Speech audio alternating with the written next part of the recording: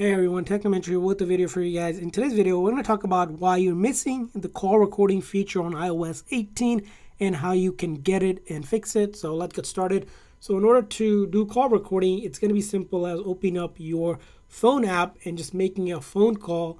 And then once you start making a phone call, here I have a demo phone here, which I'm going to show. So I'm going to go ahead and answer the phone call here. And once I enter the phone call, right up top here, it's going to be the feature to record calls. That icon right here, if I press on it like that, it will prompt that this call will be recorded and do a countdown, and then it will begin the recording just like that.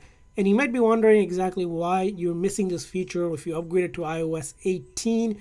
The reason why it is there's two different reasons why you're missing this feature. First reason is this feature, in order to stop the call, let's go ahead and stop it. It's going to save to our notes.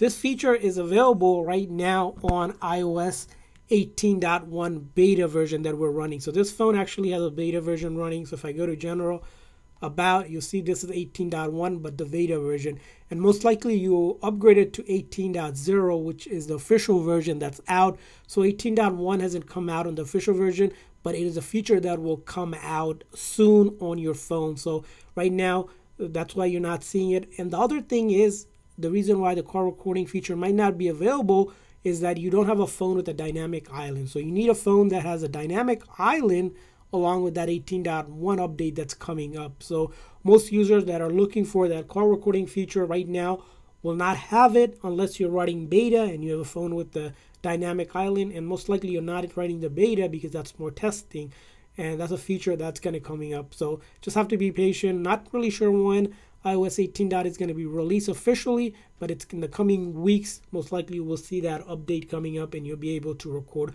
phone calls if you have one with the dynamic island. If you have this top-notch kind, even if with 18.1, it will not work. Unfortunately, those phones are not supported. Not sure why, but that's the way they're designed currently. So I hope this video was helpful in explaining to you why the call recording is missing on your iPhone.